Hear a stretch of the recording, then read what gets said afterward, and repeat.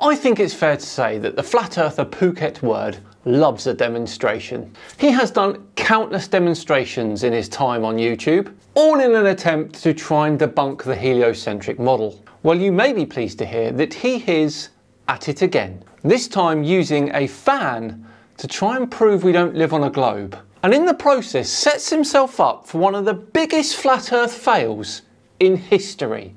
You cannot miss this one.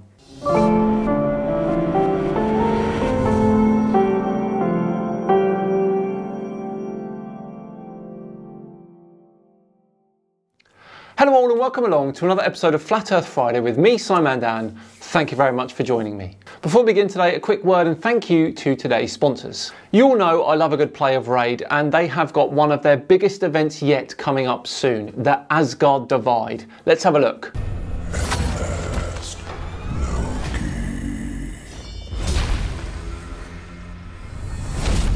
Loki. Please, let's not resort to violence. Nice. Very well. So violence it is. Oh, this looks good. This looks really good.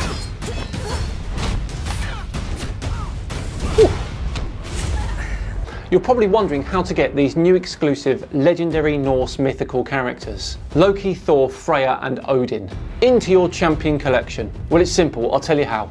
Now, Asgard Divide runs from August the 21st to November the 22nd, where players can collect those champions based off of Norse mythology. Now, they act as Raid's unique take on these familiar figures. Now, everyone can get the legendary champion Loki the Deceiver for free, simply logging into Raid for seven days between now and October the 23rd. And players can log in for an additional seven days after that to get even more rewards. Now, players can get the other three Norse mythology champions via in game activities. So, check in game to see how you can get those amazing champions. So, don't miss out. Download Raid now using the link in the description and start working towards getting your free Loki the Deceiver champion and take on the challenges of the Asgard Divide today. If you haven't started playing yet, then what are you waiting for? Click my link in the description or scan this QR code to get insane bonuses only available with my link. On sign up, you'll immediately get a huge starter pack with an epic champion Tagoar from the Orc faction. And then you'll get another starter pack after reaching level 15. That includes an epic Knight Errant from Banner Lords faction as well. Come find me under the name SciManDan and join my clan. Right, back to today's video and Phuket Word. He seems to think that a fan with bits of paper stuck on it can debunk centuries of science. Let's find out why, shall we? Away we go. Hello, Flat Earth researchers, debaters, and debunkers.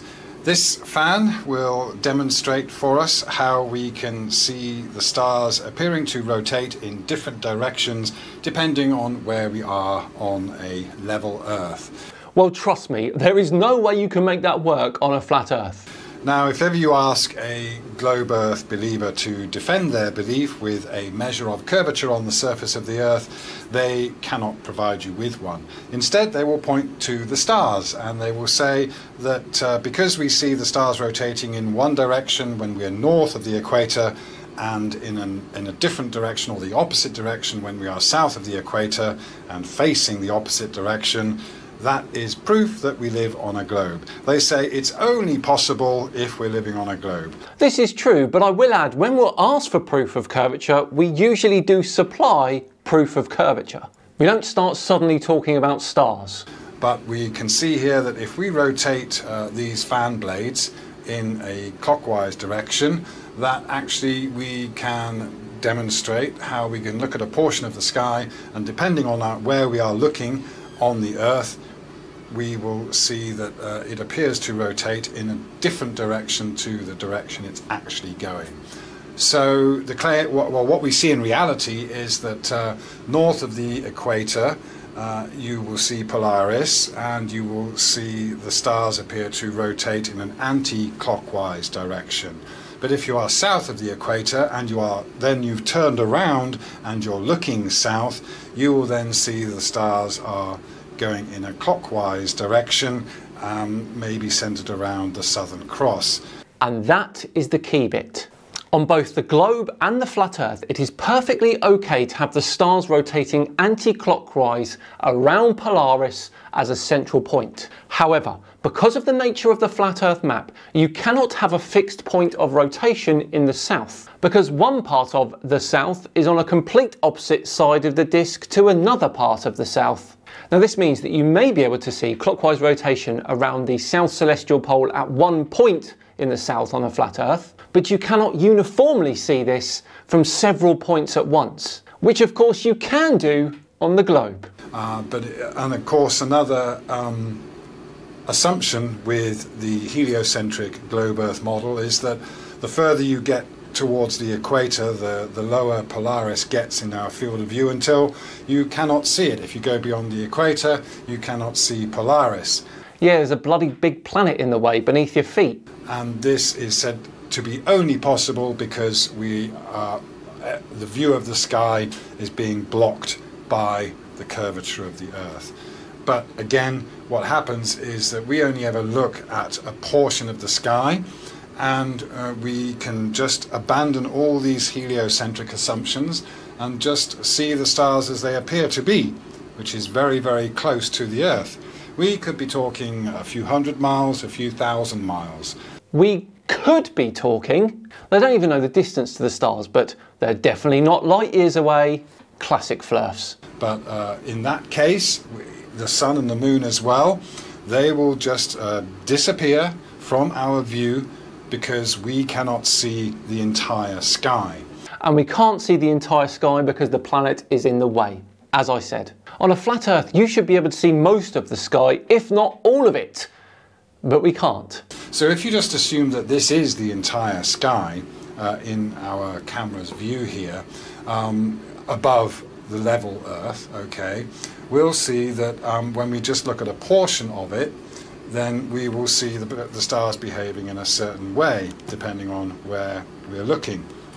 So in reality, we can only really ever see a portion, almost half of the sky, that uh, at any one time, depending on where we are. So here I've got uh, some uh, arrows on this uh, blade, and uh, we'll see that they're pointing this direction. So if I turn this clockwise, basically the arrows have come in from the left, okay, and they're going off to the right, all right? And I'll just keep on turning this clockwise, and they will come around again from the left to the right. So it's pointing in the direction that they are going, all right? One Seems pretty understandable so far. This is pretty good for you, Phuket Word. more time, and it's going to be left to right, okay?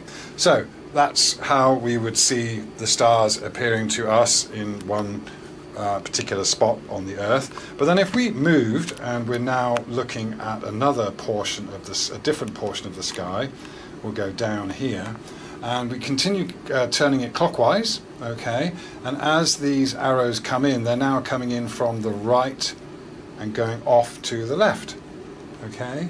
Yeah, just now it was from the left to the right, now we're seeing them come in from the right to the left. But they're still rotating clockwise. Please do not tell me this is all you have, because at the moment you're debunking your own model. So we can just uh, follow this round actually, and you'll see that as we go up here, we then get this change where now that we're looking at this upper portion of the sky, it's going from left to right. And as we follow it around, we'll see that it ends up going from right to left. Yeah, it's really simple. Okay. And all this time, it still moves clockwise. This does not explain the opposite path of rotation in the southern hemisphere, does it? That's basically what is happening when we look at the stars from a particular place on Earth. So let's now use uh, this Big Dipper instead here. You can see that it's kind of got that saucepan shape, all right?